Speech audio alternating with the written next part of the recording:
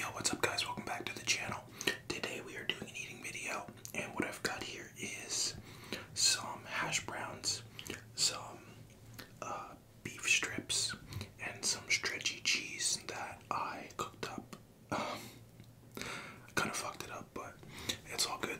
So let's get right into it. This is uh, the stretchy cheese that Zach Choi is always eating on his uh, his channel, and I tried to follow the recipe that I found online, but